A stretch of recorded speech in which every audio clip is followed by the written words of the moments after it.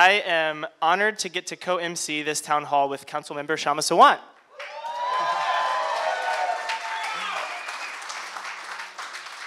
and I want to tell you guys a little bit about uh, how we met a couple years ago after I got the shit beat out of me by three guys who followed me home after leaving a gay bar. So I'm going to be a little bit of a Debbie Downer for a minute. Um, really close to the intersection of Pine and Boylston, I heard a friendly voice behind me say, Hey. And I turned around to a smiling white guy and his friends who looked about my age, and he decked me with a blunt object, and I was immediately knocked unconscious. I don't know how long I was out for, but it was long enough for the blood from the gash on my forehead to trickle its way along my scalp, through my hair, and crust up on the back of my head where I was lying face up on the concrete. When I regained consciousness, two girls were hovering over me. They called the police for me as my phone had been stolen.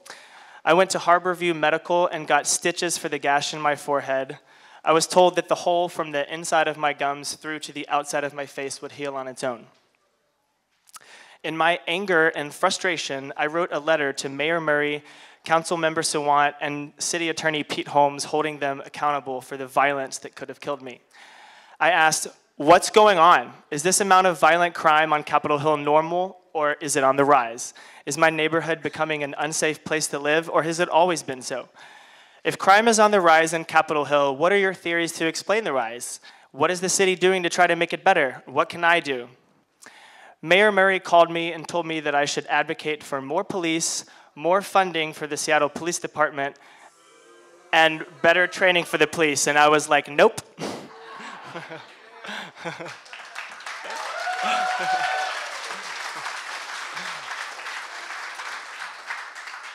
Kshama Sawant's response was really different. She immediately messaged me on Facebook to ask me if I was okay and if she could do anything for me personally. Ever organizing, I was like, Can you come to this peace vigil this weekend that I'm organizing? She couldn't, unfortunately, but she shared her thoughts with me, and I read them aloud at the peace vigil. She said, to put an end to the violence and the culture of violence, we need to address the root causes, which are often linked to social and economic inequality. We need an empowered community to ensure that the elected leadership of our city and our police department are accountable to the public safety needs of our community. We need a cultural transformation of our society into one that has a zero tolerance of violence, hate crimes, verbal, and physical harassment.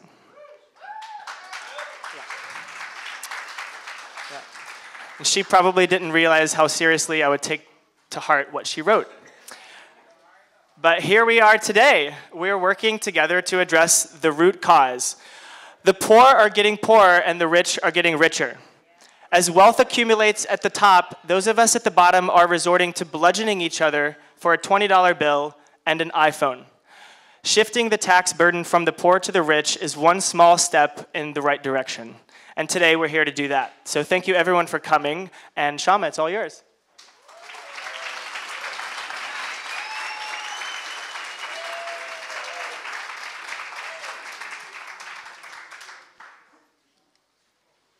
Thank you, Daniel.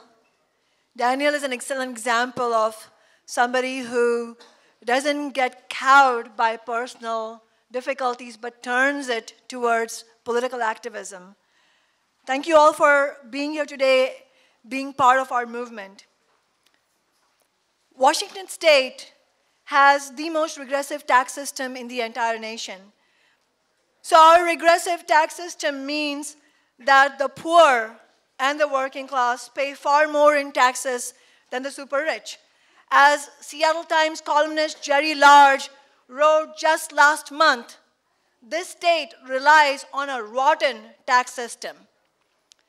None of this should come, come as a surprise to us, of course, because money is power under capitalism, and big business and the super rich use their immense wealth to control the political system and to buy the elections of the political establishment around the country.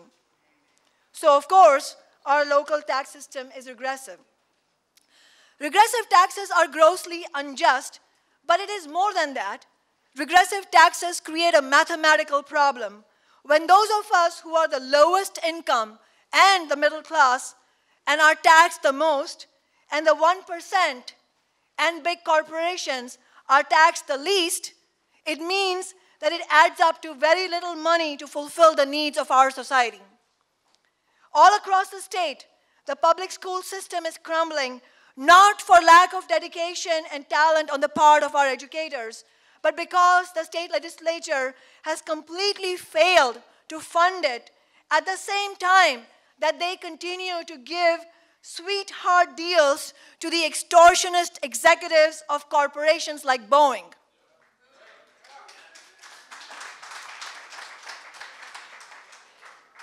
And despite untold wealth in our city, the problem of homelessness and the housing affordability crisis continue to escalate. Social services and mental health services have remained chronically underfunded. And now, to top it all, Trump's right wing and billionaire filled administration wants to further cut social programs and transit funding. Are we going to let that happen? Hell, hell no. That's a great, great response. You should tweet at Donald Trump. Hell no. we might actually get a response from him. but right now in Seattle, we have the real possibility of forcing establishment politicians to pass a city income tax ordinance. In other words, an ordinance to tax Seattle's richest people. What a long way we've come from 2015 when we ran our District 3 City Council re-election campaign with the demand to tax the rich. The reason we've come this far in just two years is only because of the grassroots movement built by the activists and working people of our city. The Trump Proof Seattle Coalition, the neighborhood action groups, homeless organizers, regular working people and young people, but particularly the Transit Riders Union, under the leadership of Katie Wilson, the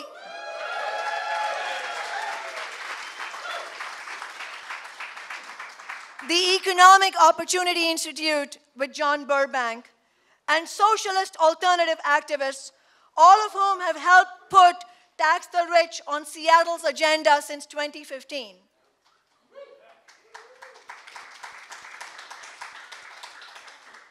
And I thank Councilmember Herbold for joining me on the council in support of our Trump-proof Seattle coalition. However, when we get close to winning, there is always the danger that we can grow complacent and let up the pressure. Are we going to let out the pressure? There is the danger that the right wing of the council and the mayor might try to water down the legislation. For example, Council members Burgess and Bagshaw have spoken in favor of a flat tax on everyone, not just the rich. When the resolution, they said this when the resolution was voted a few weeks ago.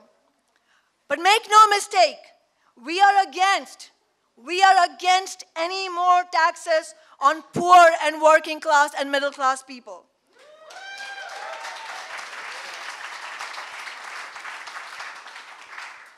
We are taxed too much already. We are talking about taxing the rich. So, are we going to fight to win? Today we have some amazing speakers and class fighters to explain Trump-proof Seattle's proposal to tax the rich and to lay out the strategy to build this amazing movement. We're going to have scheduled speakers that Daniel and I will take turns in introducing. And then after that, we will have, we will open it up for a question and answer session.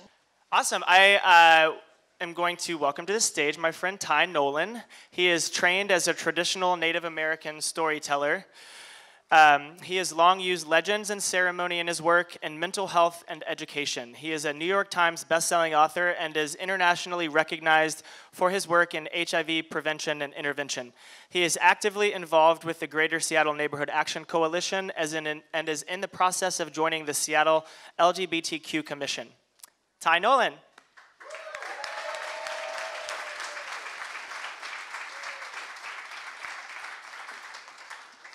Nikhalawat, Inawini Shahwai Maaswan Kuchi Ukuchad, Mishnamwa. In English, my name is Ty. When we were children, our family had a performance group, and the first thing our dad told us before we got up before a crowd was to tell us, you don't just get up and hop around.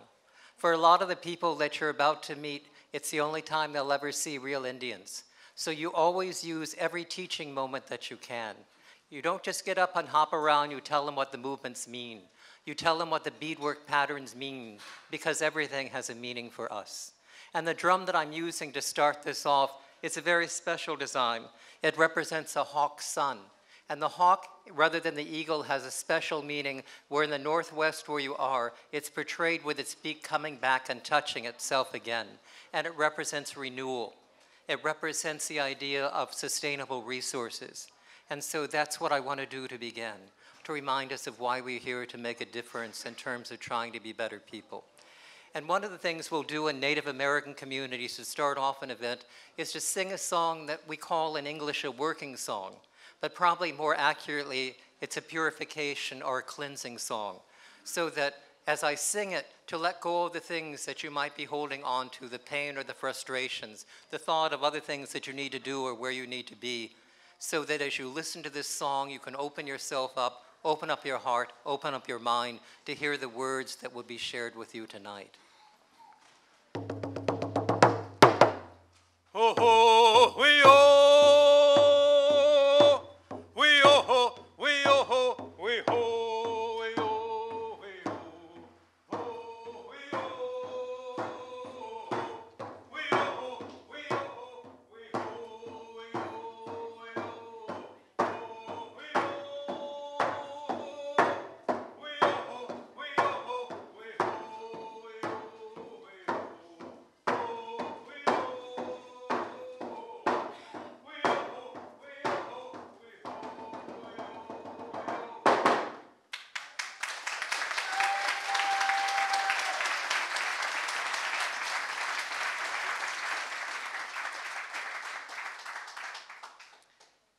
Thank you, Ty. As a longtime pastor and faith leader in Seattle's historic Central District, our next speaker, Reverend Jeffrey, has witnessed firsthand the intense gentrification of our neighborhoods and the evisceration and displacement of black people and working people from our city. He has been at the forefront of social justice struggles like the Fight for 15, the renters' rights battles, and Black Lives Matter. He understands better than anyone the need for working people to unite together against economic inequality and racism. Please welcome Reverend Jeffrey.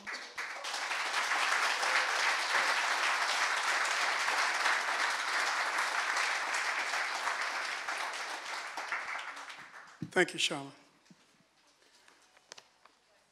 African Americans, the poor, and the middle class in the state of Washington are under siege by a trifecta of con- consciously implemented policies, which at their core serve to oppress, depress, and confine their economic growth and development. These policies are are not equitable, and they are, first of all, a sales tax system, which is oppressive, a property tax system, which is oppressive. In the absence of both a state income tax system or any tax or dividend, any state tax or dividend interest and interest on the wealthy. Although King County is one of the wealthiest counties in America. This wealth is not evenly spread. The median income in King County is 36% more than the national average, according to recent census. However, four of the counties, 38 cities, and towns have incomes below the national average, but they still pay the same sales tax, the same percentage of property tax as the wealthy. There are presently seven states that don't pay income tax, and one of them is Washington State. However, however, even Tennessee, a southern state, has a sense to tax dividends and interest on the wealthy. So does Wyoming. Washington state depends solely on a regressive tax system of sales tax and property tax, while giving huge breaks in property taxes to wealthy corporations like Boeing and like other corporations, Microsoft and everybody else, while giving little or no breaks to the poor or the middle class. Poor people are expected to say, pay the same tax rate as multimillionaires, as multi-billionaires pay. This is not just class warfare. This is a civil rights violation.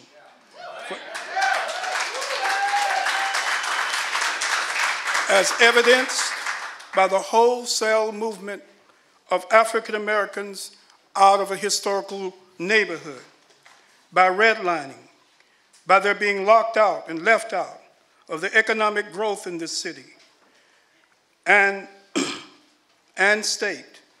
This is a true American tragedy. They have been forced to vacate their community and their culture, cultural heritage in order to avoid paying punitive and aggressive property taxes. We must, in the name of equity and fair play, fair play, abolish the sales tax in the state of Washington and adjust the property taxes, a property tax system, in order to make it equitable and make up the loss in revenue by imposing a state income tax on those who are wealthy and those who make over $250,000 a year. We must take, we must take, we must take the future of our city and state out of the hands of greedy politicians in bed with greedy developers and profiteers who are pricing the poor out of this city, that they have helped build a cultural city, that they have helped implement and institute, putting their names on buildings, putting their images on buildings that are now owned by people who did not, who, who came in to this community is not enough. We cannot allow them to continually create a lily white city surrounded by people of color, the blacks, the Native American, the disenfra- and the disenfranchised middle class. Tax the rich. Tax the rich. Tax them bastards.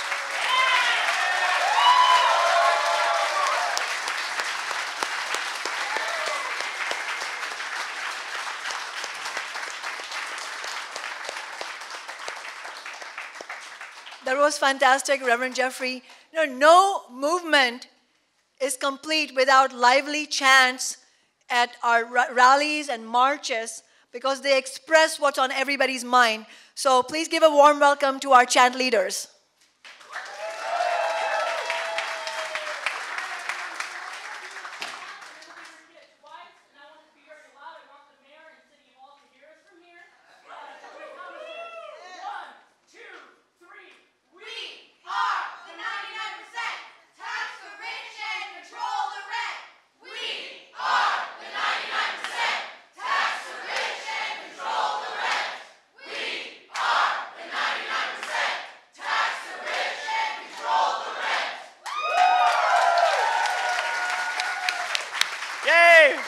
Awesome. Okay, now for a change of pace, a slideshow presentation. Woo! How exciting! But we want everyone here to know exactly what is being proposed by the city. So KJ Moon, a resident of the Central District and an organizer with Transit Riders Union, uh, is going to come up here and give us an explanation of what exactly this ordinance will look like. KJ, when he's not organizing, works full time as a software engineer and hangs out with the Seattle Democratic Socialists of America.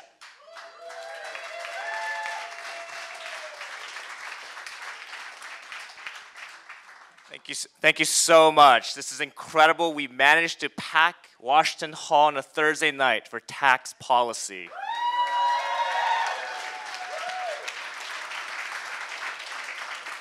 So, up here, it's a little change of pace, but I'm going to talk to talk to you guys about the story of our state and like two movements for an income tax in the state and how they failed and how we can succeed where they left off. So I'd like to begin the story in the Great Depression with robber barons, incredible inequality, and Hoovervilles were popping up all over the United States. And if you can't recognize that up there in the top right corner, that's Yesler Tower right there, and that's a Hooverville in Seattle. And just like today, Seattle in the 1930s was facing a serious crisis of homelessness and um, unemployment. And so a movement was born from the Washington Grange Association. A group of farmers and a coalition created an initiative 69 to pass a progressive income tax in the state of Washington. And on this same ballot was an initiative for the repeal of prohibition of alcohol. And I 69, the initiative for progressive taxation, passed by a far bigger margin than booze. So the situation was quite serious. but what happens when a group of grassroots organizers pass a progressive tax? Big business sued. And not so fast, from five to four, the 1930s ruling, um, the Supreme Court of Washington State declared that income is a form of property, and under our state's constitution, that all taxes on properties must be levied equally. And so the initiative failed. And 77 years later, a coalition led by the Economic Opportunities Institute uh, in 2010 tried it again to pass a progressive income tax for the state of Washington on high, wealthy households. And unfortunately, that failed as well from 64 to 36 percent. And it failed in every single county in the state of Washington, including ours, except for San Juan Island. And I'm not sure what's going on over there, but it must be a great place to live. but that brings us to today. And before I like to talk about today, I kind of want to get a gauge in this room on a scale 1 to 50, 1 being the fairest and the best state out of all 50 states in the United States, and 50 being the worst. Where do you think the state of Washington lies? And you can just shout out numbers from 1 through 50. Wow. Things are quite bad. well, you guys are correct. We rank the worst. We are number one in the most regressive state in terms of state and local policy, tax policy out of all 50 states. And what does it mean when a tax policy is regressive? It means that the richer you get in this state, the less percent of your income you pay in state and local taxes. And if you look at that graph, and that graph is also on your seats, and if you're standing, we have um, handouts at the TRU table back there in yellow you can see that in the lowest bracket, the lowest 20 bracket of our state, where households on average make about $12,000, they're paying 17%, or roughly 17% of their income in state and local taxes. On the flip side, you look at the top 1% of our state who are making about $1.5 million on average, and they pay roughly 3% in state and local income taxes. And that is tax injustice, and that is what it means for to have a regressive tax policy. And so some of you might think that, wait, it's not fair to lump us in with those on the east of the Cascades. We're Seattle, we're progressive. Uh, surely our tax policy must be different than the state of Washington. Well, I'm sorry to tell you that Seattle's tax policy is the worst for the poor, and that we have the fourth highest tax burden in all 50 states, in all, in all cities in the United States, major cities, for those who are making $25,000 a year. And on the flip side, we have the fourth lowest taxes for those who are making $150,000 a year in this city. And now, and one interesting to note is that we are actually on both of those lists. So we have become a sanctuary city for money, not people. But some of you might argue it's been okay so far, right? Like, you know, our city, our state has been chugging along. Our city has been, you know, somewhat chugging along, and wh why change now? Well, things are quite different today. We have a new administration, he who will not be named, and his Republican cronies are, are threatening cuts, major cuts to education, health, housing, and environmental protection. And this is only going to exacerbate the housing crisis that we have, and among many other crises that our city faces. And so, what do we do in our city where we need to fund something? We pass property tax levies, we increase the sales tax. Well, unfortunately, this year, we are taxed out. Mayor Ed Murray has proposed a, home, a property tax levy to address the housing crisis, and he has withdrawn that proposal in fears that it will not pass. Our King County Executive Dow Constantine has proposed, proposed an increase in sales tax to fund the arts. Our sales tax is around 10.2% right now, I believe. And he has withdrawn that proposal. Now, uh, you know, a little different, but he actually put the proposal back on the ballot, but we'll see how it does in November or August. Um, and so our, our, our city, our state, our country is starting to look like the 1930s. We have robber barons, but they just look a little different than they did in the 1930s. We have Nickelsville instead of Hooversville. And so we need to protect our residents and we need to save our city from Trump's agenda. As a group of community, environmental, labor activists, educators, from Democrats to socialists have got together to form the Trump Proof Seattle Coalition.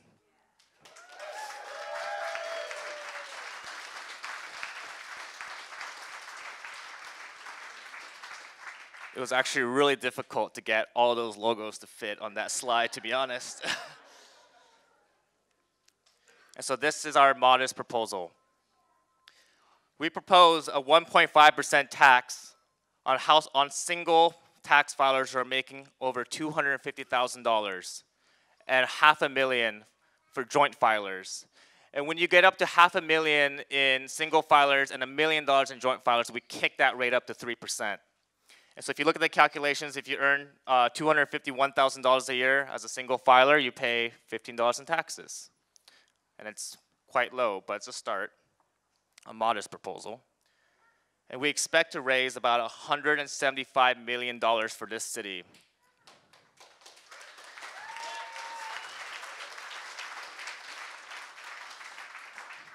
Now, as Councilmember Kshama Sawant has correctly said, that we, this is a negotiable process with the rest of the city council and our coalition. So these numbers may change in the future, but I think we're pretty set on them.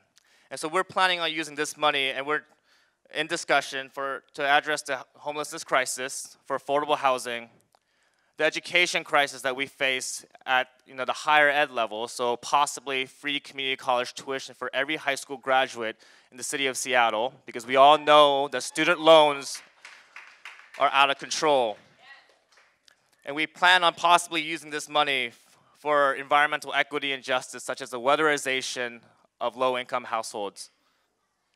And so this is a graphic of that proposal. But I, you know, I, I face a lot of skeptics when I'm organizing on the streets. They say Washington hated I-1098. You know, it failed in every single county except for the San Juan Islands. and you guys remember that map I showed you back then. Well, look closer. Look even closer. That's Seattle. Seattle passed I 1098, an initiative for progressive taxation on high income households by 63%. And we are, and I think the same amount of support, if not more, is in Seattle today. And we are ready for an income tax in this city.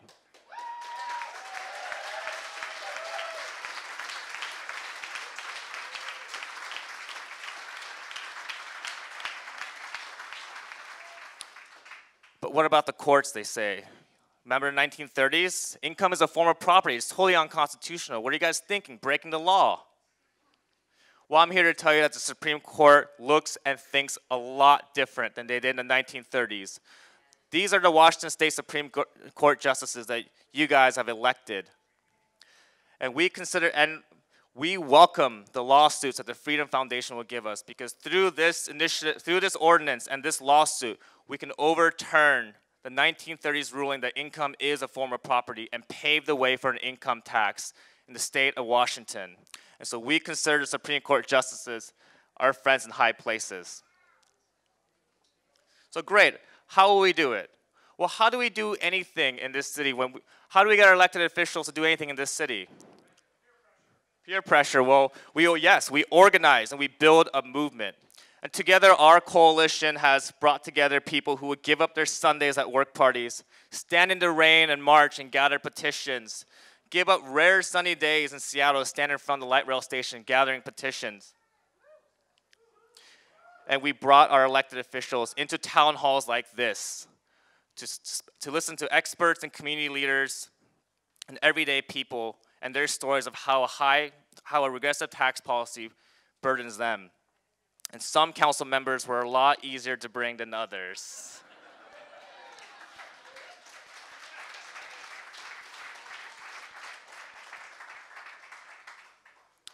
and so we took, you know, we got, you know, thousands, hundreds, if not thousands of people to share their stories to fight for progressive taxation and we built a movement that the city council could not ignore, and it worked. On May Day, the council has unanimously passed a resolution to pass an income tax ordinance by July 10th. But it ain't over yet. A resolution is not an ordinance, and it isn't over until the ink is dry in that paper and our city is $175 million richer. And it isn't over until we beat the opposition who can gather, who could possibly gather 10,000 signatures to put this on the ballot. And if we overcome that, it isn't over until we get a favorable ruling in the courts. And it isn't over until we not until a single person, until not a single person exists in Seattle that can be hurt by Trump's agenda.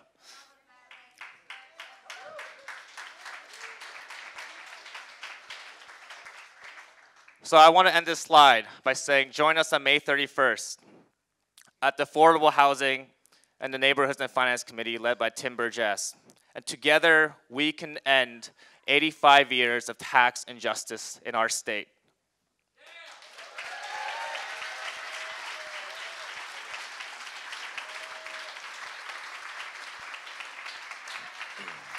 So up next, I'd like to introduce you to one of the campaign coordinators of the Trump Proof Seattle Coalition, who is also a resident of the Central District, my friend and the General Secretary of the Transit Riders Union, Katie Wilson.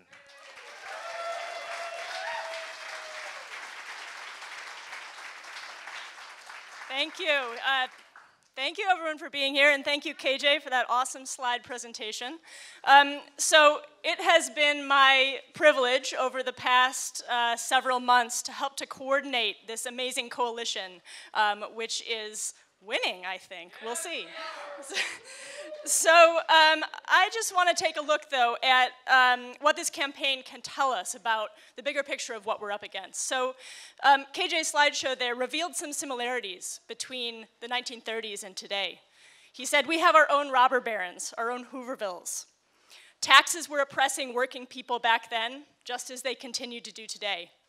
Our state then was in dire need of new revenue to deal with economic and social crises, just as it is now. And in both cases, taxing the wealthy was the clear answer. But then we get to a big difference. In the 1930s, voters overwhelmingly approved a progressive income tax.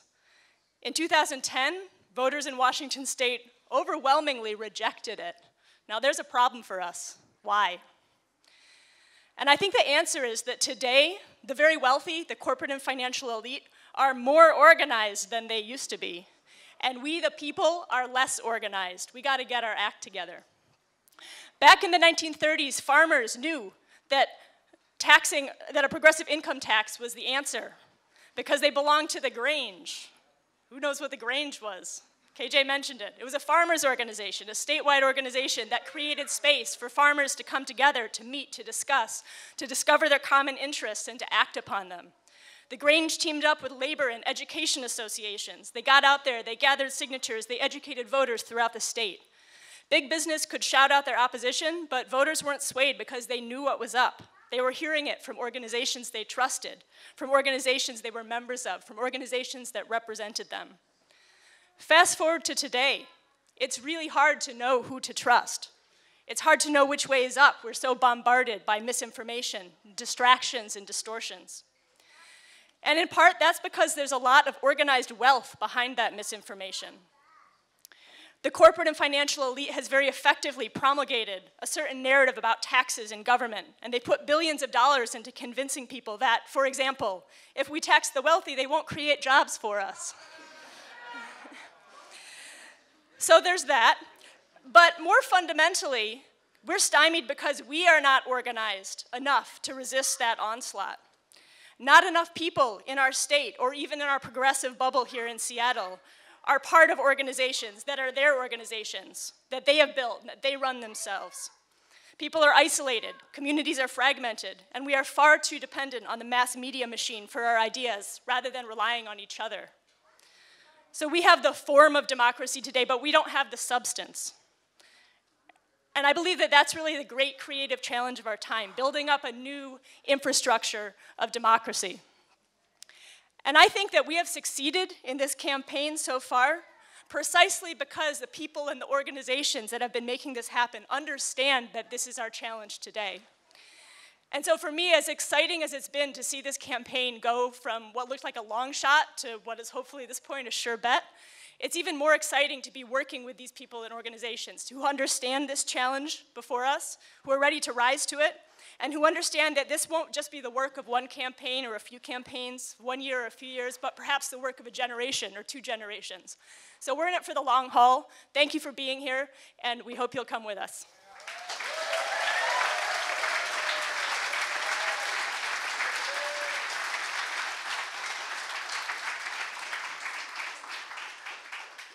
Thank you, Katie. Our next speaker is Ramy Khalil who's a resident in District 3 in Seattle and Capitol Hill. And he's a longtime activist in Seattle for economic and social justice. He has been campaigning for years for a millionaire's tax. And he also was part of the movement that fought for marriage equality and played an important role in the fight for 15. He's also a leading member of Socialist Alternative and a really good friend. Please welcome Ramy Khalil.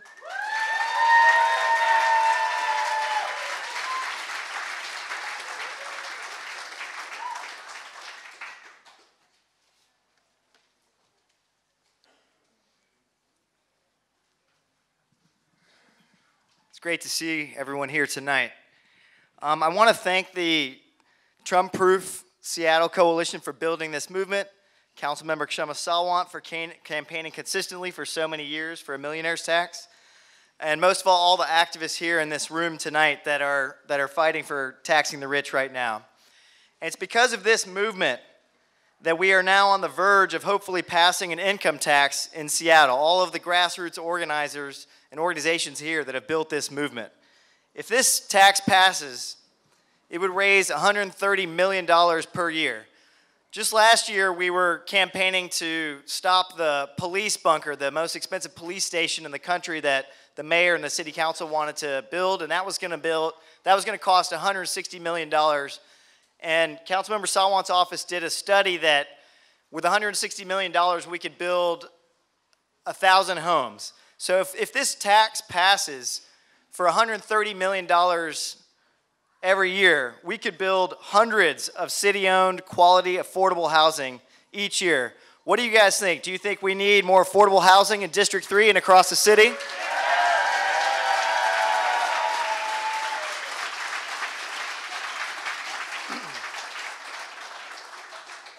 With $130 million every year, we could also fund jobs and community programs in neighborhoods where people of color predominantly live and make childcare more affordable. There's so many things we could do with $130 million a year. But what's crazy to me is just how much poverty and homelessness and inequality there is in this city. This, our economy in Seattle is booming. Seattle has tens of thousands of millionaires.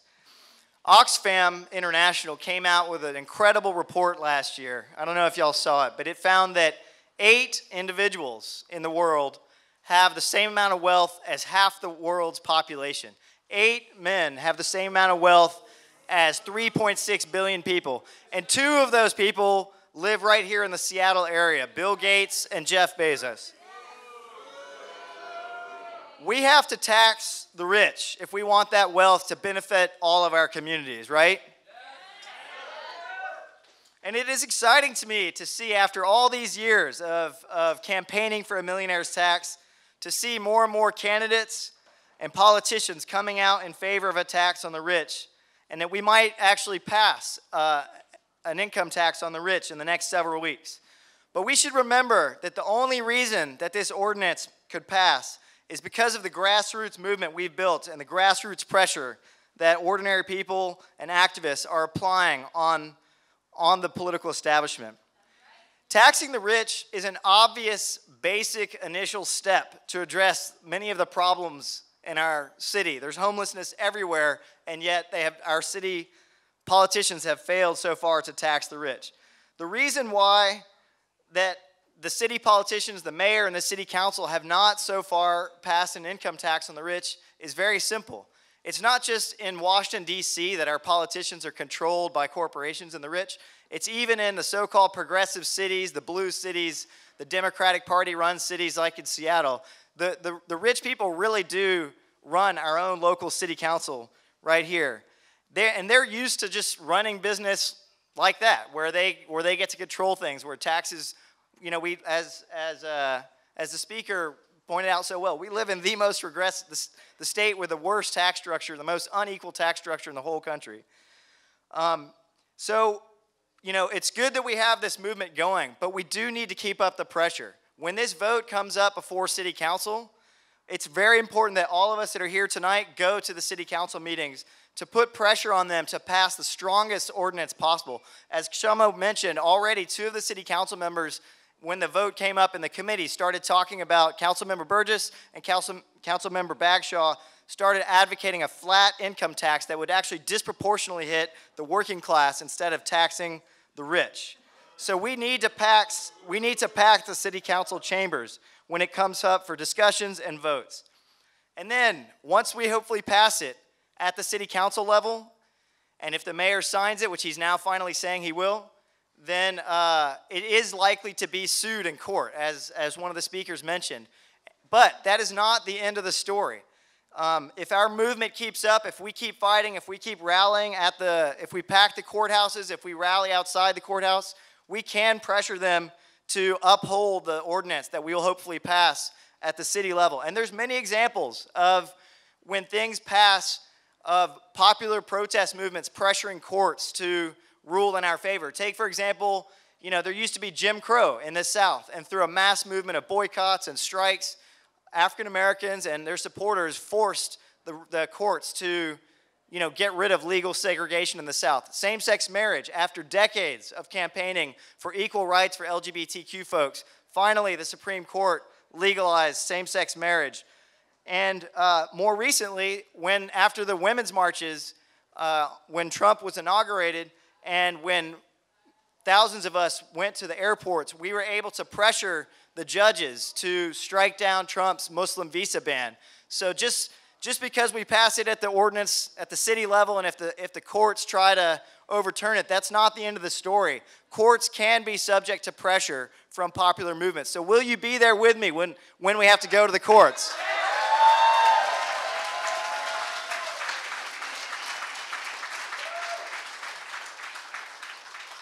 So thank you so much for being here tonight. And I just want to end by saying if we keep building these organized movements, grassroots organizations, if we keep fighting, if we stand up for ourselves, we can, we can pass a strong ordinance at City Council and then we can keep it upheld in the courts. Thank you so much. Thank you, Ramy. So next up, we have Jesse Hagopian. Jesse teaches history and is the advisor to the Black Student Union at Garfield High School. He is a member of the Social Equity Educators, the International Socialist Organization, and editor for the social justice education publication Rethinking Schools Magazine, and the Seattle Fellow for the Progressive Magazine. Jesse.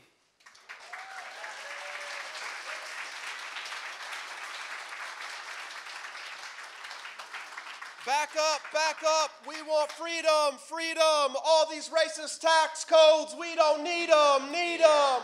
Back up, back up. We want freedom, freedom. All these racist tax codes, we don't need them, need them. All right, y'all.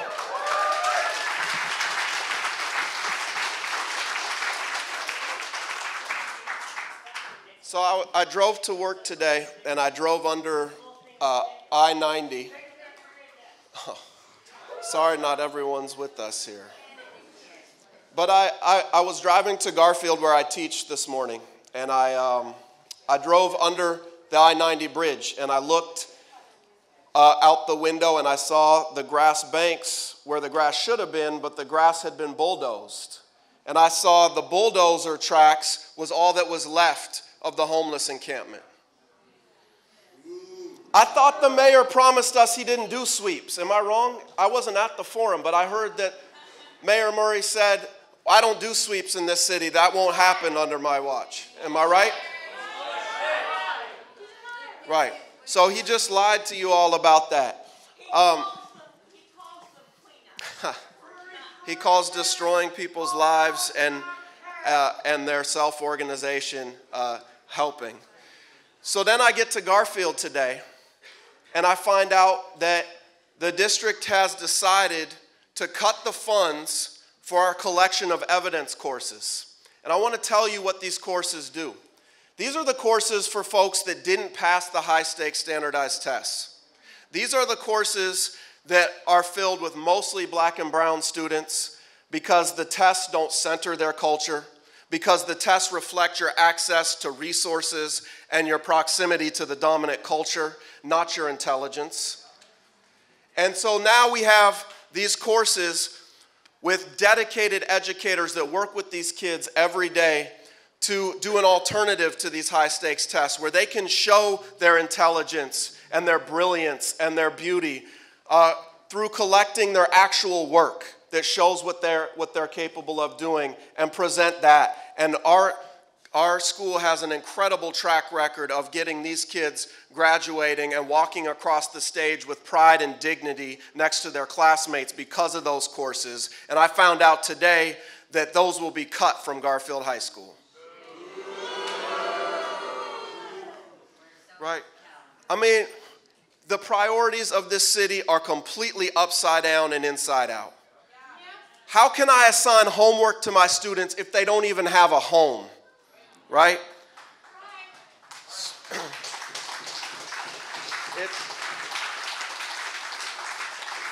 We, have to, we have to talk about how we got here and why we're in the situation where we, we, we can be uh, throwing homeless, we can be evicting homeless people and cutting funds to our schools and letting these billionaires run away with the money. And you can start you can start with Donald Trump, who's proposed a $54 billion increase to the Pentagon to go bomb children across the world rather than to build their schools and, and their, their homes here. And then he proposed a $9.3 billion cut to the Department of Education simultaneously, right?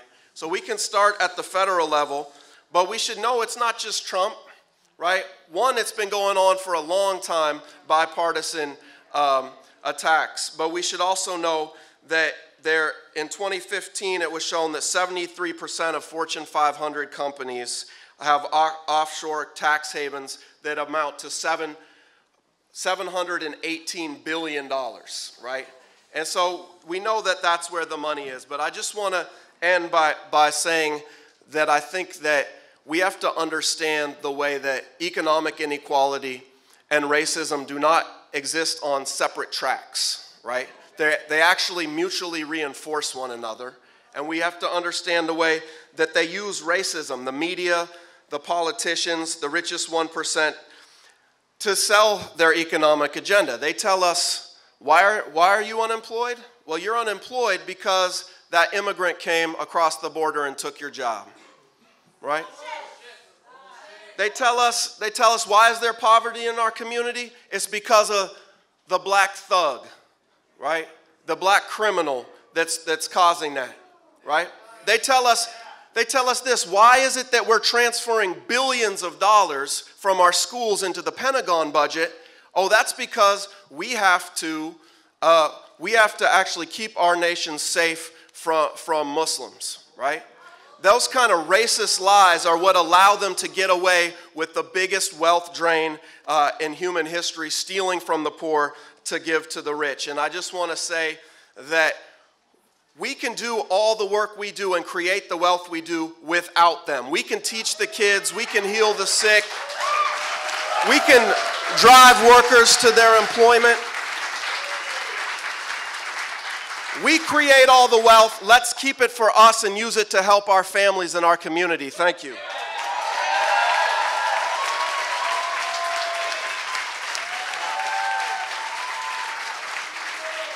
Woo! All right. Who wishes that they had had Jesse as a teacher in high school? You're so amazing. Thank you so much. Thank you. And he has to go, so let's all say bye. Thank you. uh, okay, now I welcome to the stage Kelly Lyons. Kelly is a longtime leader to expand rights, respect, housing, and shelter options for homeless people in Seattle. When city government support for Share's indoor shelters dried up last year, Kelly left her tiny house at 22nd and Union to join Tent City 7, the group who led the five month, 150 person per night sleep out at the King County Administration Building to restore share funding to get folks back inside.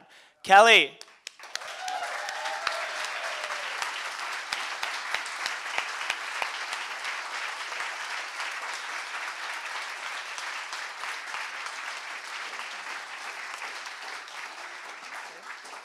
So, hello, I'm Kelly Lyons, and if you're from this district, I am your neighbor.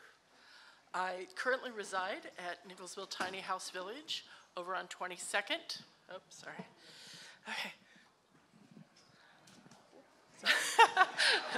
okay, yeah, sure. Over on 22nd, just off Union. Nickelsville tiny house villages are self-managed encampments.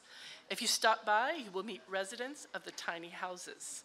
We provide our own security, organize and maintain the kitchen and donations, and hold elected leadership positions.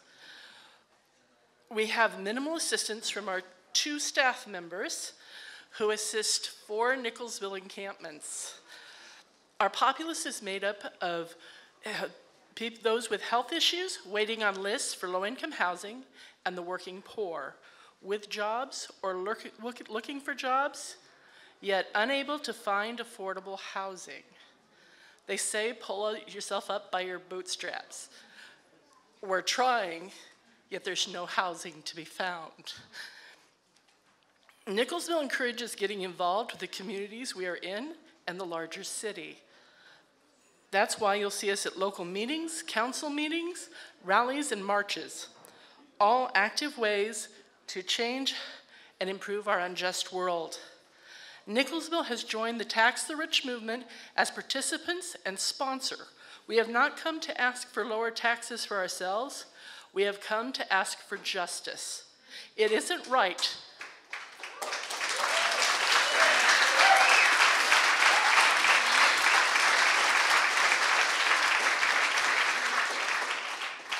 It isn't right that there's so much poverty sandwiched in between so much wealth.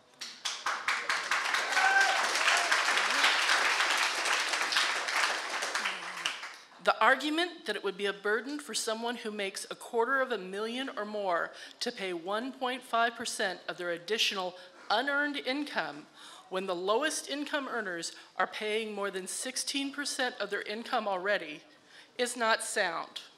Or as my grandmother would say, it just doesn't hold water.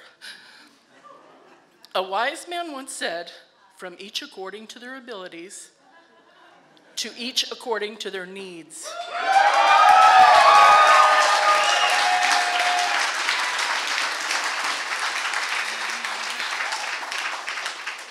That's not a bad idea, is it? We're not going to achieve it overnight, and maybe not in our lifetimes, but it's something worth striving for. This specific proposal for a progressive taxation is another step in a positive direction. I feel I'm lucky to be in my tiny, heated tiny house with access to running water, showers, and a flushing toilet. There are thousands in Seattle tonight who will sleep on the street without any of this. They are in real and genuine risk. And as far as the, the mayor's talking about these cleanups instead of sweeps, so many people are being swept that we turn away people every day. Our goal at Nickelsville is to get everyone into shelter as soon as possible and then get them out of the shelter and into affordable housing as soon as it's built. Again, this tax proposal is a key part for making this change. I've seen several of you at these meetings, at these meetings and rallies before. I hope the new faces I see will support this new proposal too. We're all working hard to make this proposal a reality, and this movement is growing.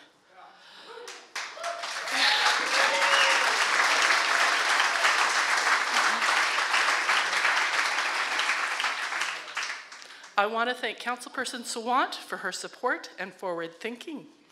I'd also like to thank the Trump Proof Seattle Coalition, and in particular, Transit Riders Union Katie Wilson, for, so, for organizing so many to come together, uniting some pretty diverse groups. Our next big step is the City Council meeting on May 31st at 9 a.m. I look forward to seeing many of you there. Look for us in our bright pink Nickelsville t-shirts. Thank you.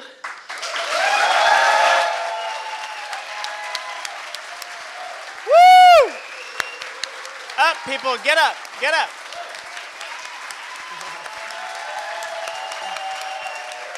Thank you.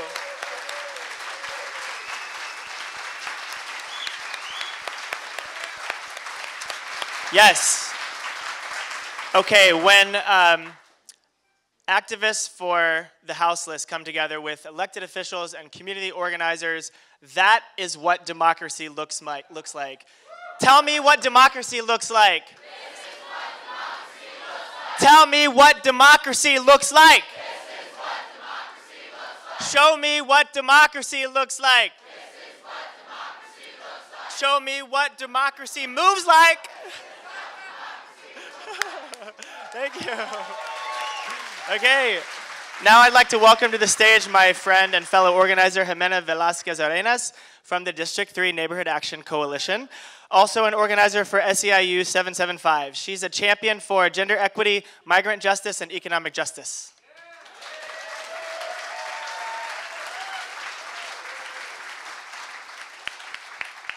Can we give it up to Nickelsville?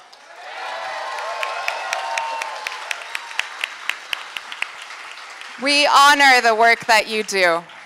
We honor the work that you do.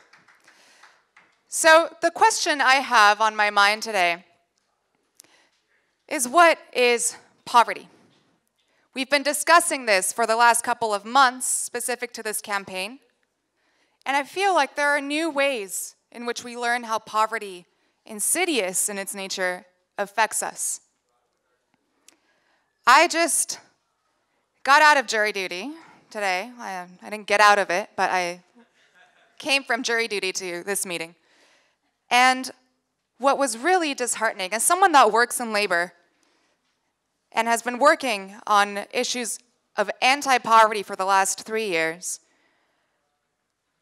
I was amazed for the first time being in a courtroom and seeing fellow jurors as myself that were randomly selected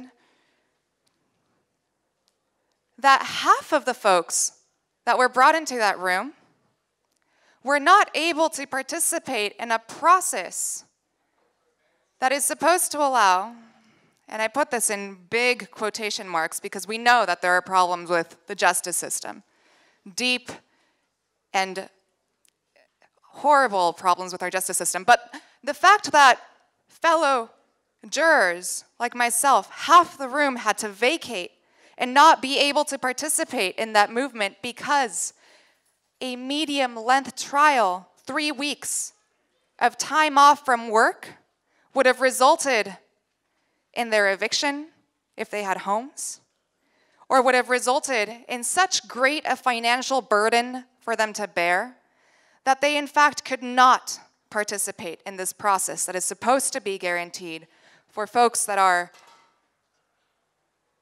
innocent until proven guilty. There was no group of peers in this moment to assess the situation because they had to dismiss themselves. They couldn't afford to be in court. And so that's a new realization on a personal level that I'm just walking out of. Now, when we talk about what our response is to that, I thank Daniel for that chant because, in fact, this and filling rooms like this, as the coalition has been doing, is where we need to be putting our work and where we need to be putting our effort. And it goes beyond taxes. Because when we think about the work that we're doing in order to not feel, to not see, first of all, the shame of folks that couldn't participate and felt ashamed that they had to leave the room. We have to challenge that at every level, and we do that by making sure that we're reaching out to each other and that we're working in hyper localized organizing. This is neighbor to neighbor. This is doing direct access service. This is plugging in to di- the different movements that there are many of are necessary for us to give energy to.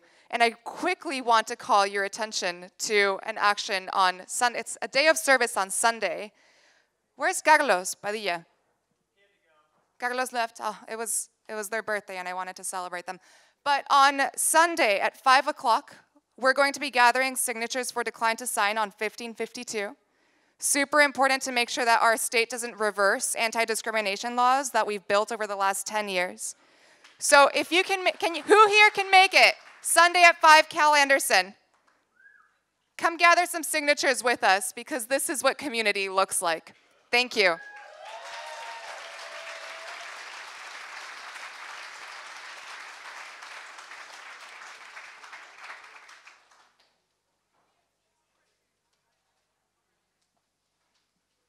Thank you, Ximena. Our next speakers are Betty and Elmi. They're workers at Security Industry Specialists, which is a company that Amazon contracts with, and they provide security at the Amazon campus. Betty and Elmi are among some really courageous workers who have spoken out against religious discrimination at SIS and have, they have faced retaliation for working with SEIU Local 6 for fighting back and trying to unionize Amazon security workers. Do we support their struggle to get unionized?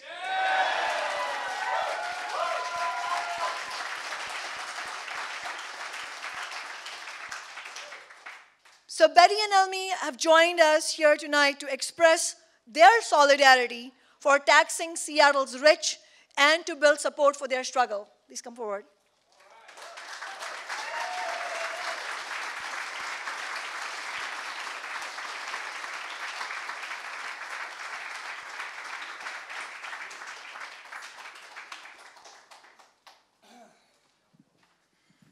Good afternoon, guys. Uh, my name is Abdinasir Elmi. Before I even speak, I would like to say a few things. Can you guys repeat something after me? I'm crazy guy, real quick. So when we fight, we win. That's all I want for now. So when we fight, we win. when we fight, we win. Thank you so much. So uh, I. I've been working at Amazon uh, from 2010 up to 2017 this year. Uh, we basically went through a lot of struggle. Uh, I am a Muslim. I grew up in Seattle, went to Bellevue College, went to University of Washington. I did security so I can pay for my bills and help my family out. And it's very sad to be going to work and you have to hide your religion or you have to hide where you pray at. Uh, believe me or not, uh, for I'm surprised that I'm still there for seven years. Like, I'm like, really? I was hiding my prayers. I was in the garage praying. Uh, I had supervisor coming after me, harassing me about being who I am. When I first applied for the company at SIS, uh, did my resume, went to the interview, got the interview, sat down with someone, talked to me about the job and all that stuff. Comes back and he was like, hey, Mr. Omi, we look at your resume, you're qualified to be with our, with our company. Uh, we would like to have you with this company, but the only problem we have is we would like for you to shave your beard. So I'm like, what? So, first of all, I had to understand that wasn't him. That's the company policy. That's number one. You have to understand where he's coming from. Number two, I had to give him an explanation for order for him to understand where I'm coming from. So this is all I said to him. What I said to him was, look at my resume and read my name. My name says Abdinasir Elmi. So do you want me to be John? Do you want me to change who I am and what I believe for order for you to expect me, like to accept me and to and to give me a job? And I was like, you know, my man, I will be honest with you. Thank you for this great opportunity. I don't think I'm gonna shave my beard for anyone. I don't care how much you pay me. I'm not gonna do this. So after a couple of months, after a couple of months, I got the job. Mayday was spoke. Spoke on Mayday, uh, talked about how we're still getting paid 1550 uh, SIS. Uh, we don't get no raises or anything else. So after I spoke, they took me off the schedule. They called me back to the office. They tried to basically shut me up, offer me different things, telling me, hey, we can work on things, blah, blah, blah. And then next thing you know, they'll never get back with you. So that's why we stand up. I'm gonna give Betty a little bit.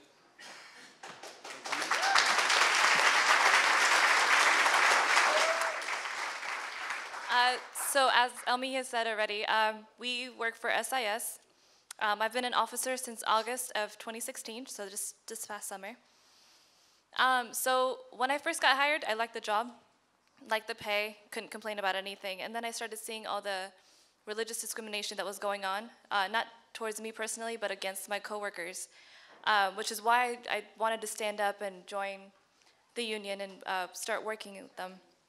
And as soon as they, uh, my supervisors heard about that, um, I, my hours got cut from full time to only 16 hours a week. Right?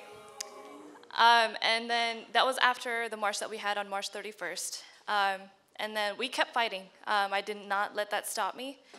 Um, and then we had the rally on May 1st, in which me and Elmi and a couple of other uh, people spoke out against SIS and all of our supervisors, watch commanders, and they, you know, they were all in attendance and saw us speaking out. And I kid you not, the very next day we were both taken off the schedule. Um, exactly. So there was 400 Muslims working at, at SIS, and not one of them was able to speak up, to stand up and speak up against SIS because they were all afraid of being retaliated against. So that is why it's very important for all of us to stand together and show them that it's, it's important to, you know, unite, because once we do unite, we can, we can, exactly, we can change it. Um, we actually just got a victory. Uh, we got our prayer rooms, finally. Uh, we weren't allowed to pray. Exactly.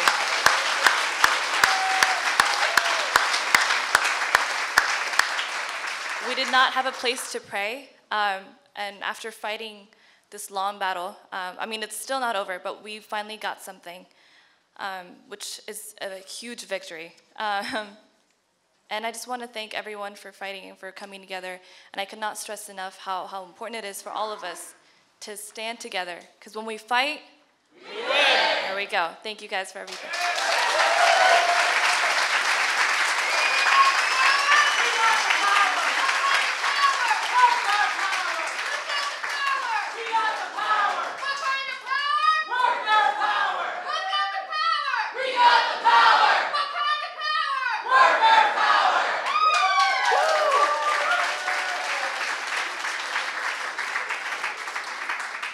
Can you imagine the struggle of our sisters and brothers at the Amazon campus? How much money does Jeff, Bezos need? Just beyond the, it's, it's leaving me speechless. beyond the obscene profits that are uh, made by the Amazon executives, just today there's an article in the media about the fabulous lifestyle of Jeff Bezos. But do you know how, that how he gets that fabulous lifestyle? By stomping on the very basic rights of the workers at Amazon.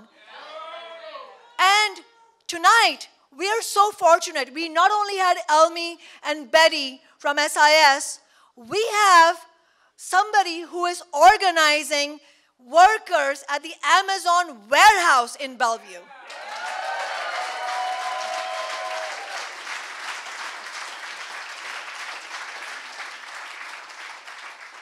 Amazon warehouse workers, as we know, are some of the most oppressed and most invisible workers. And so we are so thankful that Heidi Kayat, Chayat, sorry, is here to join uh, to speak to us. So please give a warm Seattle welcome, Seattle working class welcome to Heidi Chayat.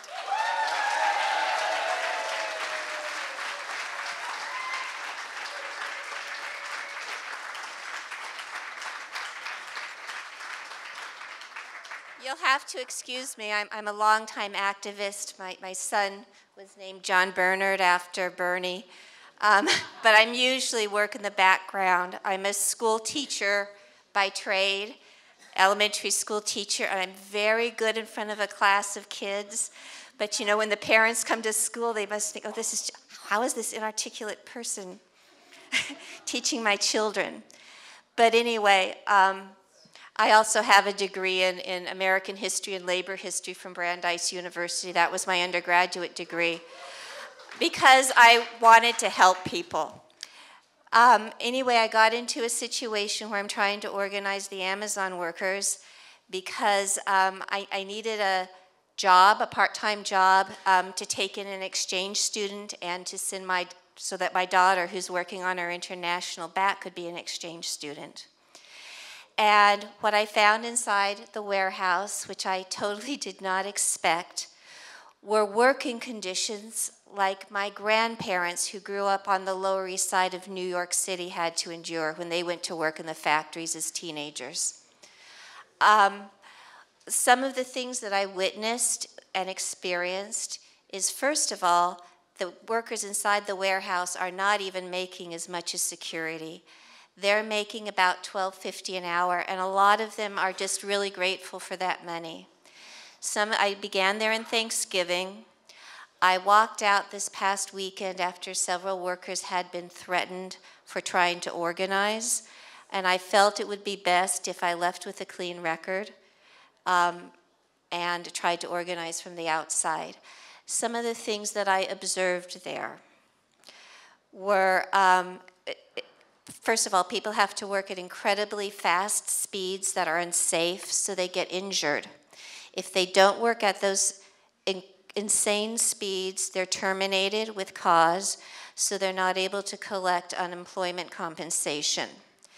What they do at Amazon is they have safety first all over, and they have safety signs, and when you, you know, get together for your stand-up meeting, how to be safe, how to be safe, but it's all a ruse because that way they can blame the worker if they are hurt. Some of the things that I went through when I was there was I had a breast cancer scare. And so I had to have a biopsy, and I needed to take the night off after. I'm fine, I'm healthy. But I had to have a biopsy, and I needed the night. I needed the night off because you can't reach. You're supposed to, you know, not engage in heavy physical activity after a biopsy. So I had a doctor's note, went into work the next day, and was told it was an unexcused absence, that it would go towards terminating my employment. Now, part time workers at Amazon, they, they are allowed one 12 hour paid time off. I was just asking for unpaid time off. Nope. They are, and they're supposed to use it, but they only get one 12 hour period, one, oh, one 12 hours per quarter of the year. The rest of the time, if you take time off, even with a doctor's note, it goes towards terminating you. Now, people get really sick there because, as I said, they are injured. They have to take time off. um, one of the things that happened, um, I, I was working in water halfway um, up, up through the halfway up my foot. You know how they spray vegetables in the grocery store? Well, they spray them. So what you're doing is you're slot, you're inside a refrigerator for 10 hours at a time, and you're slogging through water. You're not given protective gear. You're allowed one pair of work gloves a week. It doesn't matter how wet they get, how bloody they get. You still have to work in those gloves inside a refrigerator. So I could go on and on, but Kshama just wanted me to give you a, a brief overview. I feel that um,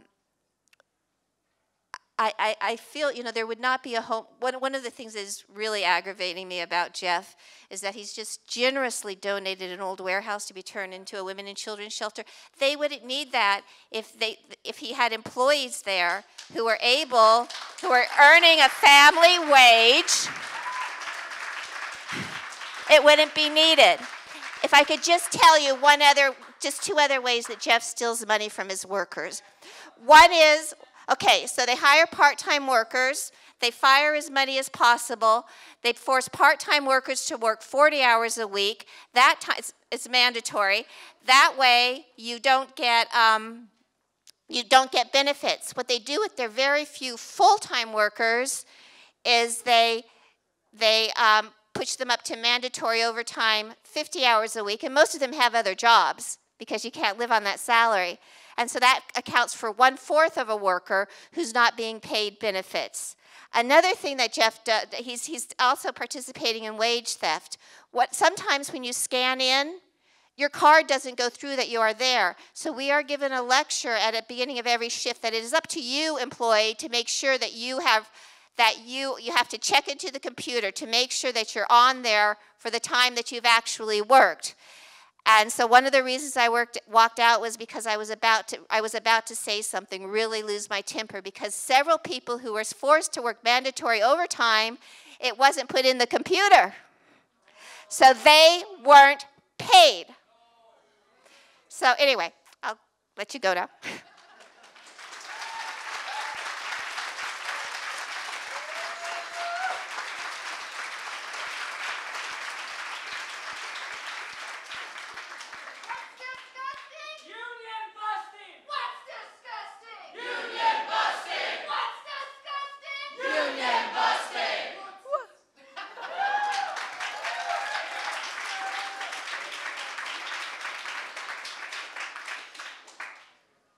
Thank you, Heidi. And we know that Amazon has a particularly rotten track record for its warehouse workers, but let's not make the mistake of thinking that it's a bad apple in a basket full of good apples. This is capitalism. Workers are struggling everywhere. So, I wanted to quickly share with you that workers at AT&T locations throughout the nation, 40,000 workers, members of the Communications Workers of America Union, are going to go on strike tomorrow starting at noon.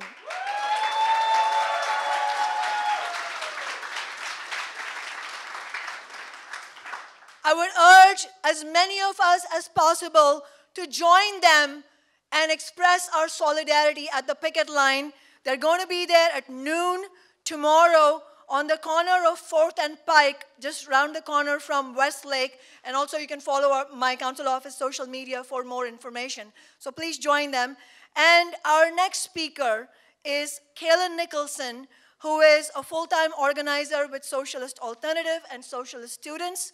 She helped lead student walkouts on Inauguration Day and recently helped, together, helped put together a socialism conference with 600 in attendance along with Democratic Socialists of America, and aimed at developing a strategy to fight Trump while fighting for a world based on human need, not profit. She also helped lead Seattle's historic Fight for 15 through her work on the 15 Now campaign. Please welcome Kailyn.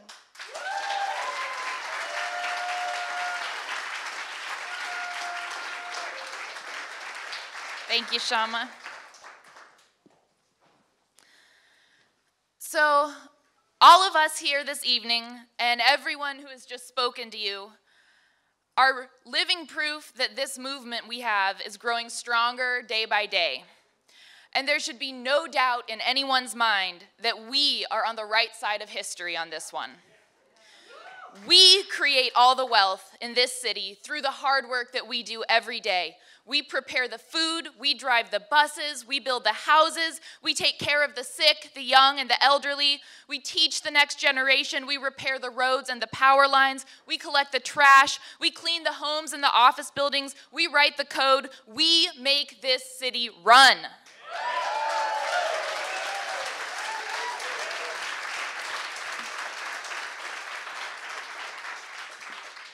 And yet, a tiny club of incredibly rich individuals like Bill Gates and Paul Allen and Jeff Bezos use their money and their influence to ensure that the rules of our city favor them and not us. But we are done sitting back and accepting that our city can't afford affordable housing and can't afford paid family leave or free daycare or alternatives to youth incarceration. We are ready to take back some of that wealth that we created with our labor by taxing the rich.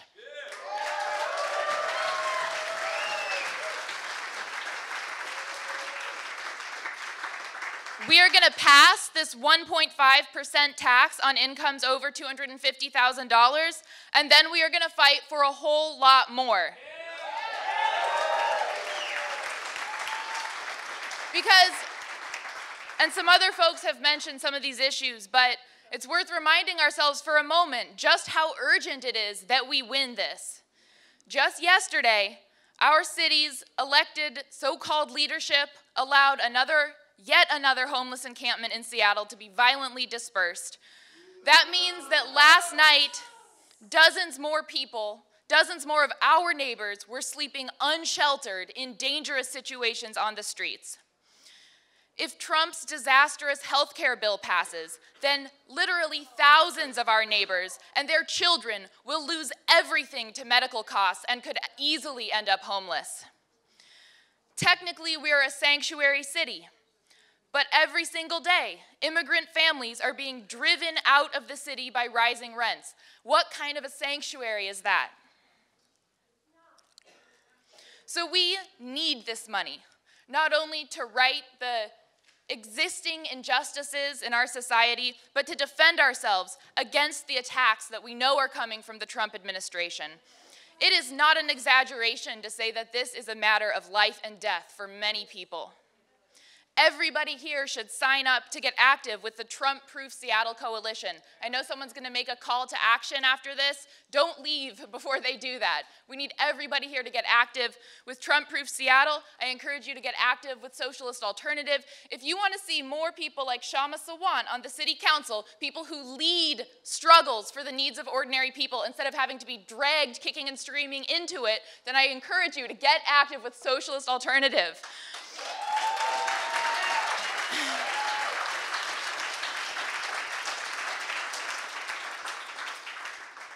If we, if we work together, we can make Seattle an example for how cities around this country can wage an effective local resistance to the attacks of the Trump administration. Now, there's a bit of a debate going on right now uh, on the left in society. We all agree that we need to stop Trump, uh, but there's some disagreement about how. Now, I recently went to a town hall meeting where Democratic Representative Adam Smith, who represents the south part of Seattle, was answering questions about how we should fight back against the Trump administration. And he urged the thousand or so of us in attendance to remain patient and to be cautious and to not do anything that might provoke a backlash from the right wing. At Socialist Alternative, we disagree. We think the best way to fight Trump is to build our movement uh, by making bold demands and take, using bold tactics that inspire people and motivate them to get involved and to join the struggle. Demands like tax the rich.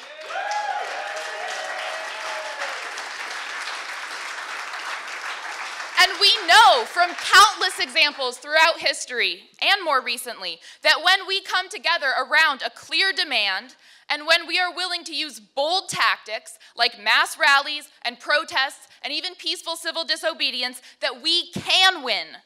We can win an income tax, but why would we stop there? We can win affordable housing.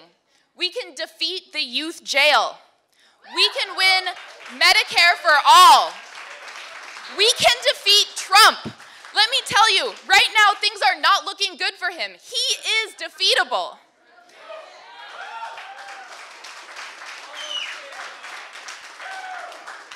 I firmly believe that we can win a socialist society where we'll we are finally able to use our wealth and our talents and our energy not to make some rich, greedy thief like Jeff Bezos even richer than he already is, but to create the world that our children deserve to live in.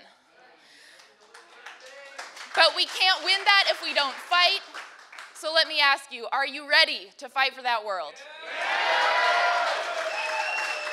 Thank you. And now stay tuned uh, for a representative from Trump Proof Seattle who's going to tell you how to sign up, how to get active in this fight. Thank you. A lot of people have mentioned the sweeps this evening. There was just a sweep. How many people went there to stop the sweep? Raise your hand. Kshama was there? Yep, a few people here were there. So, the Neighborhood Action Coalition is organizing people for rapid response to stop the sweeps. We're not going to stop the sweeps by standing in this room and screaming at this microphone. We're going to stop it by going out to where the sweeps are happening. So if you want to get involved in that, then please go to the Neighborhood Action Coalition table right there and sign up for that rapid response. And uh, now, yes, thank you. And I would like to uh, now invite Scott Myers up. Scott is lead organizer and a founding member of the Transit Riders Union. He's also a resident of the Central District.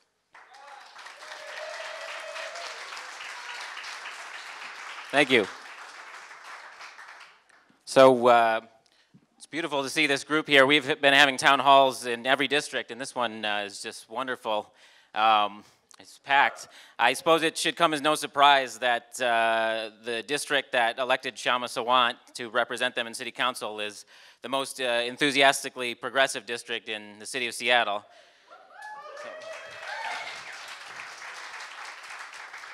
So uh, I want to talk to you today about uh, money and power, and I'll make this brief. Uh, we live in a society where money equals power, and the people with money have the power. And they set the public policy, they set it at the local level, they set it at the state level, they set it at the national level. And they decide what social services go on the chopping block, and who gets taxed and who doesn't, and how much.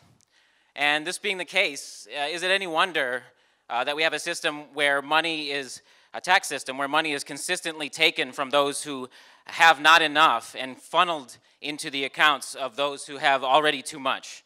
Um, and how do they achieve this? Well, with money, of course. So they hire other people. They hire marketing teams and think tanks and, and uh, media conglomerates, and, and they buy politicians, essentially, uh, all to do their bidding and to sway public policy in a direction that is most favorable to them and their interests. Um, so, what's the source of this money power then? It's their ability to command the labor of other people. The power of this dead object, money, over the energies and the skills and the creative power of living human beings. And it works in politics the same way it works in the economic sphere. They hire us to apply our skills and get the work done. And uh, to me, this is, this is a kind of slavery. It, it's not exactly like having the master's whip at your back or something like this, but it's certainly a far cry from working under a condition uh, called freedom. So, what would it be to work under a condition of freedom? Well, that's when we work not just because we have to to get a paycheck, but because we believe in it, because we want to change the world.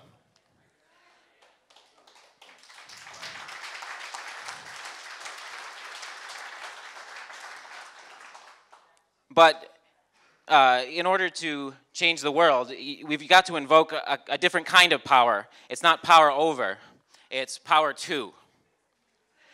Like the artists, we need to develop the skills in order to create something beautiful and inspiring. And uh, more than this, we need to get organized because our canvas is the world. And the paintbrush is far too big for an individual to yield, uh, excuse me, to wield. Um, it's by our combined skills, democratically coordinated, that we build this power to change the world.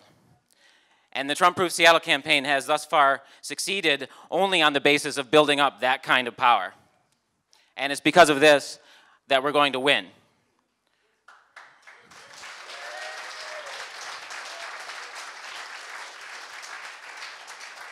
But what are we going to win?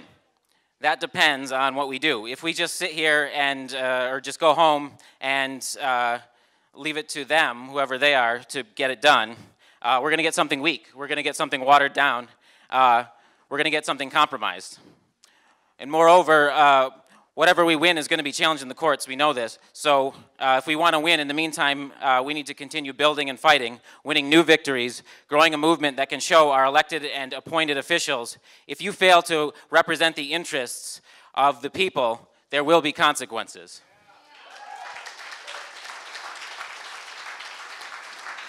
Now, considering everything I've said about uh, power and money, it may seem ironic that we're building up all this people power in order to win what? Money, yeah. um, increase funding for public services, you know. Uh, when you think about it a bit, though, it's not really all that strange. Uh, one day, human beings will be able to live and work in complete freedom, and uh, money will no longer be necessary. But in the meantime, uh, we have yet to overcome this basic condition where the people with the money command those with the skills and the energy in order to make profits. Um, and we have yet to achieve that state where money is merely a tool that human beings use to serve human needs. And though it will be a long, hard struggle before humanity, human society uh, can actually work that way, the power is in your hands to make this principle a reality in practice today. Um, and this isn't going to happen if, you know, just by donating and, and giving someone money and then going home to watch Netflix or something. Um, it's, it's going to happen by getting involved, uh, by doing things you've never done before, learning new skills, talking to people, uh, building new relationships, breaking down the walls that the marketplace ha has erected between us in order to squeeze more money out of us. So, oh, thank you. Um, so there's a whole lot of ways to get involved. Uh, we've got these pamphlets. The next thing that we're doing is a town hall on uh, May 22nd. Uh, you can see more stuff that we're doing. Um, if you want to get more involved too, you can uh, fill out these cards here and you can check. Uh, please contact me. We'll, we have organizers. They'll give you a call by, within a few days, probably by uh, next Wednesday at the latest. We got a whole bunch of stuff that's uh, uh, we're going doing over this weekend uh, to prepare for Monday. Um, but yeah, so um, thanks again for coming out and doing your part to build up the power to change the world. Let's keep fighting and let's win this in July. Thank you.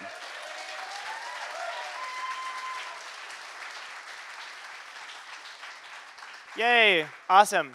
Um, real quick before Kshama closes this out, uh, and also we have the questions, so uh, if you ask the question, we're, we're probably not going to get to all of them, but um, stick around after uh, Kshama's closing remarks. We're going to get to some of those questions.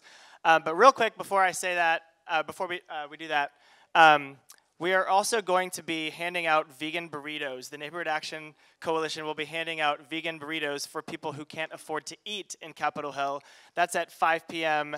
Uh, this Sunday in Cal Anderson. We mentioned that we're going to be collecting signatures for Decline to Sign. We're also handing out vegan burritos, so come to that.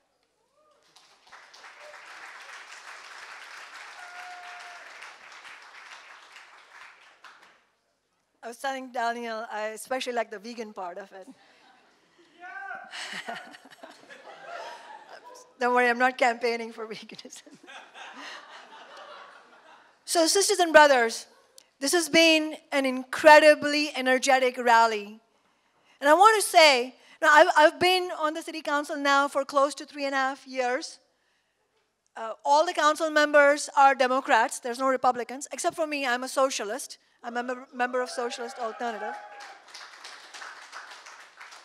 And what have we observed in the three and a half years that we've been in City Hall? We've seen the so called Seattle process, the Seattle process where the majority of the city council, which is corporate politicians, they say, you know, they'll use these keywords. They'll say, well, we need to be data driven.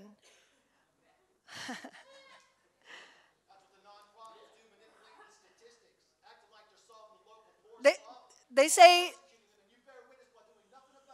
they say we need to be data driven. They say we need to be thoughtful. I often hear from them that I'm being brash. They say we need more studies about that. That's what they said when we were fighting for 15. You know, they said they need more studies to show, to prove that low wage workers actually need higher wages and that the sky was not going to fall down. They say they need more studies for uh, uh, really having progressive taxation, for family leave, for renters' rights. They say that those of us who demand that things move fast are not good at policy. And so, on the whole, this Seattle process means a can't do attitude. But you know what's most striking about this Seattle process and can't do attitude is that it does not apply neutrally to everything. When Amazon wants an alley vacation, which is a road reorganization to accommodate its shiny new campus so that it can exploit more workers, they get a red carpet welcome and that policy is rushed through. There was no Seattle process for Amazon and there never has been. When the council members and the mayor wanted to spend a whopping $160 million on the police bunker for the North Precinct, there was absolutely no process. It was rushed through. And there's been no process for the youth jail, where the proposal is that the county will spend more than $200 million to lock up young people. And many speakers talked about the sweeps. I was there along with many of you at the I 90 sweep a couple of days ago. Do you know how many sweeps the mayor, who, as Jesse said, promised in his candidate forum recently that he's not carrying out sweeps or he won't carry out sweeps, do you know how many sweeps of homeless people were carried out in last year alone? 601 sweeps of homeless people. So this is not a lack of money or resources that is driving the inequality in our city. It's the lack of political will and priorities that are overwhelmingly disproportionately skewed towards the super wealthy and big business.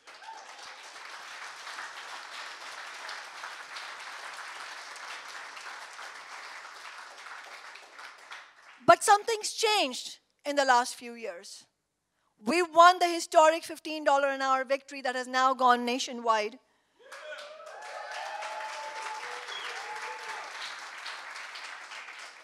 We won renters' rights. We won the landmark cap on move in fees for renters last year. We successfully pushed back against 400% rent hikes at public housing of Seattle Housing Authority. And, and we succeeded in blocking the bunker.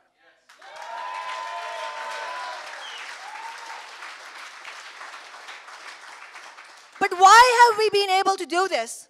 We've been able to do this because we are starting to build a grassroots movement that is independent of what's acceptable to corporate politicians.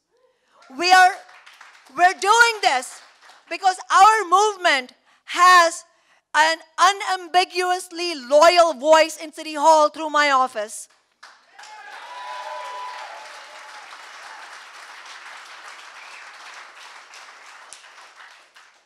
But as Kailyn said, this divide between corporate politicians, the big businesses that they represent, and the rest of us who struggle for survival, this is not just a local phenomenon. This is happening nationally as well. And the need for movements to be independent of corporate politicians is so evident now more than ever. as Trump, as Trump's administration is starting to disintegrate, at the same time, we hear from prominent Democrats that it is not the right time to fight for the needs of working people. The most prominent Democrat, Nancy Pelosi, said single payer healthcare is not going to be on the Democratic Party platform. She also said that her guess was that the Democrats lost the presidential election last year because they didn't cater enough to the social right wing, and that going forward, being pro abortion rights should not be a requirement to Democratic primaries. But it's not just her. We are saying, our movement is saying, why don't we fight for single payer healthcare in states that are not controlled by Republicans?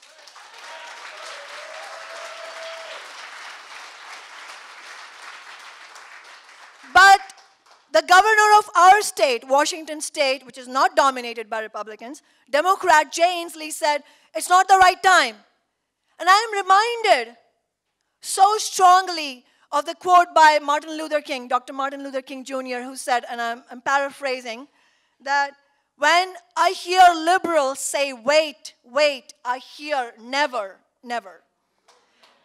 And so, whether it is to tax Seattle's rich, or to win family leave, or to win funding for public education, or to win affordable housing, or for single payer healthcare, there is one common thread that runs through all these movements that we will have to build them independently in a united way across Democrats, socialists, other activists, LGBTQ activists, environmental activists, but with the understanding that the unity should be amongst one another, not unity with corporate politicians.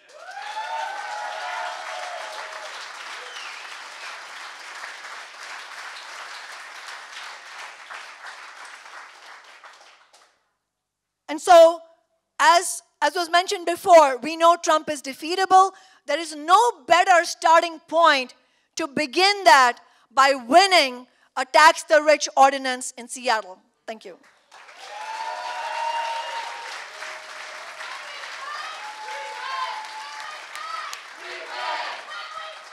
We win! Woo! Yay! Yay! Awesome. Okay. We have time for some of your questions. Um, so a few of them, I think some people didn't quite understand what the proposal was, so I can answer a couple of these really quickly. Will the tax cover capital gains and regular income? Yes. Did you consider reducing the tax on low income citizens? That is in consideration still. Uh, uh, the coalition is not pushing for that at the moment, and that's only because this is the first step in a many step process. And this is probably not going to be as legally defensible when it goes to the Supreme Court if that's written into it. So, but that's still being ne negotiated. So, if you have a very strong opinion about that, you should be at the negotiation table, and you should be showing up May 31st in City Council chambers with your public comments ready. um, Another person asked about uh, proposing tax brackets instead of a flat 2.5% for income above $250,000. So that's not what's being proposed. What's being proposed are is a progressive income tax. So 1.5% tax on people who earn 250,000 or more, and then 3 3% so more for uh, top earners for millionaire couples and individuals earning 500,000. Um, so some other questions that we have are, how are the mayor or city council trying to water down our tax legislation? I think, Kshama, you could probably answer that one best. Did you want me to repeat it? Or how are the mayor or city council trying to water down our tax legislation? Well, right now, uh, they aren't explicitly trying to water it down, and that is only thanks to how powerful our coalition has been. I will say this we should remain vigilant because the discussions haven't really gone to the point where I, I wouldn't be surprised if I hear some of the council members start saying, well, I support this, but we don't have a legal path right now, or now is not the right time. I support this, but you know, maybe we should do it this way or that way.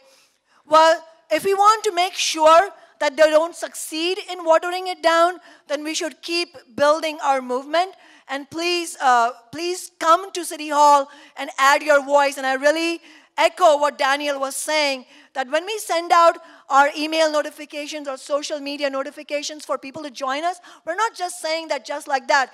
It's when we pack City Hall with the voice of working people, that's when we see the results.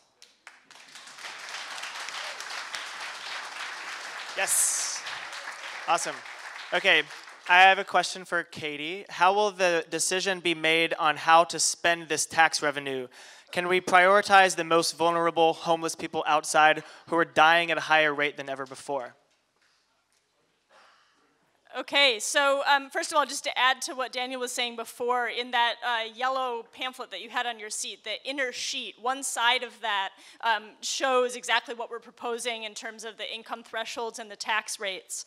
Um, and so see if you can sort of decipher that. In terms of revenue dedication, um, we are still having those discussions within the coalition and with the, the city council members. And as Daniel alluded to, um, the, uh, the, sort of attorney team that's been working on this um, think that putting the revenue toward some of the urgent needs that our city faces is going to make for a stronger pathway going through the courts than if we were to, for instance, like offset the sales tax or something.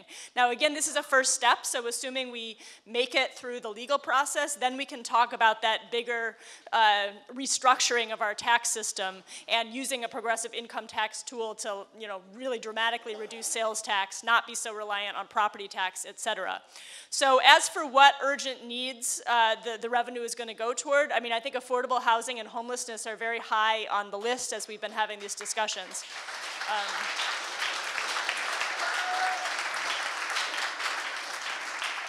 and also, as, as uh, I think KJ mentioned in his slide presentation, uh, some education-related things like the idea of free community college. So still under discussion.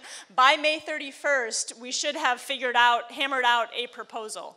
Um, and uh, yeah, housing and homelessness on, on, the, on the radar. Okay, uh, this one both Katie and Kshama can answer this one. How can we best influence the city council members who are not 100% in support of this tax initiative?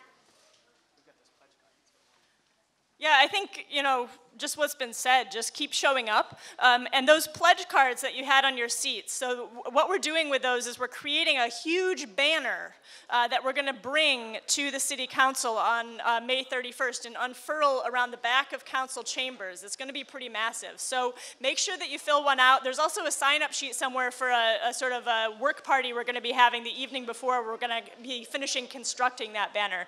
Um, you know, if it turns out that a council member or two needs some extra pressure. We might, you know, send an email out or asking people to call their office, um, that kind of thing. So we'll sort of play it by ear and see who needs that uh, kind of extra support.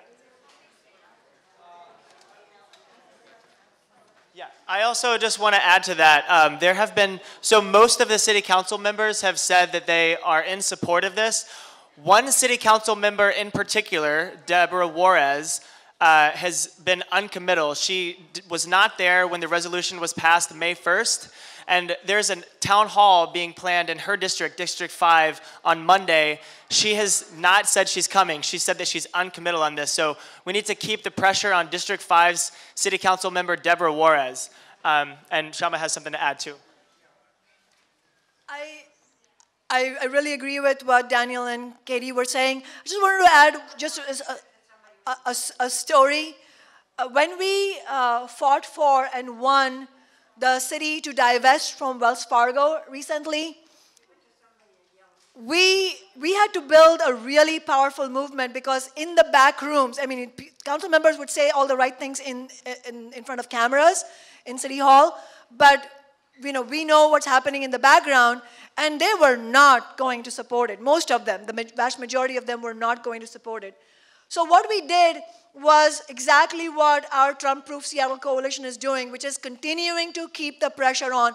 And even though, and see, this, this today's town hall, the District 3 town hall, is a great example of this. Even though the majority of council members have said they support taxing the rich, we're not just resting on our laurels. We are continuing to build the pressure.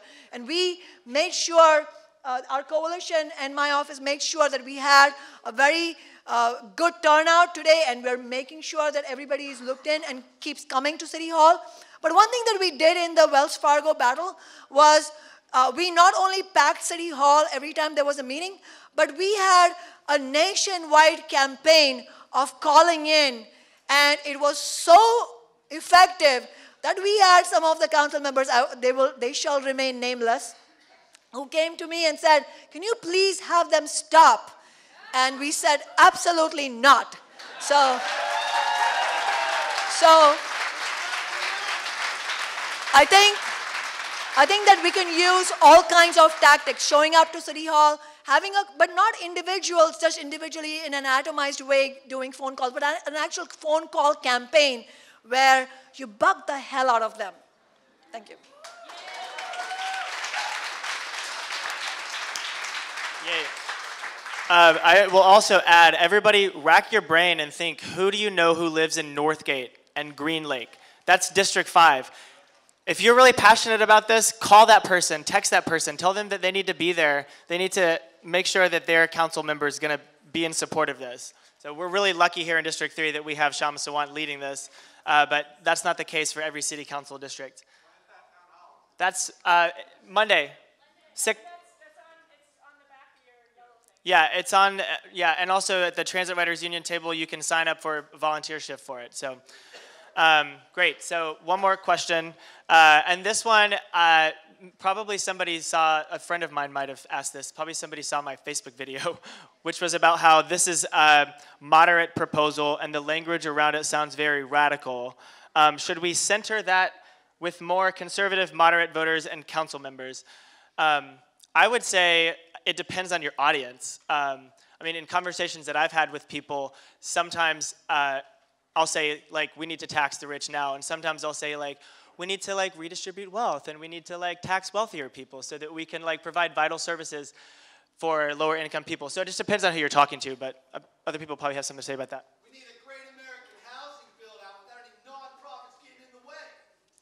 I really agree with Daniel. I think we should, uh, you know, we should be firm in demanding and building to win tax the rich, but we can be uh, you know, multifaceted in how we make those arguments depending on our audience, and that's a skill that we all have, we are, many of us are developing as activists, and uh, that's, and that's a, an absolutely critical skill. Uh, I will say, though, that uh, I, I think this applies to the entire city, but I can confidently say, I mean, it, it applies to the entire city because as uh, KJ mentioned, the failed initiative from 2010 actually passed with flying colors as far as Seattle voters are concerned. But in 2015, I ran my re-election campaign through District 3, and our main slogan was tax the rich. And we won our campaign, our movement's campaign for District 3 election won decisively. So I would say as far as District 3 is concerned, we already have a strong referendum in favor of taxing the rich. And so as far as many working people, renters, homeless people, many social justice activists are concerned, actually I would say that uh, we would, um, it would not be beneficial for us by moderating the language in the sense that they want to tax the rich. If we don't say tax the rich, they might think that we're also trying to tax other people, working people, middle class people. We want to make it clear, regardless of what our starting point is in the conversations. And as I said, we should feel free to be flexible what that starting point is, but we should make it clear we are talking about taxing those who have so much money that it is well beyond what they need for their living needs.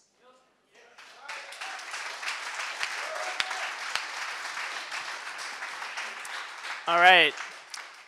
Well, I'll see you guys all May 31st. Actually, I'll see you guys on Sunday at, in Cal Anderson Park handing out vegan burritos. And I'll see you at the next sweep, too, because you're going to sign up to stop the sweeps.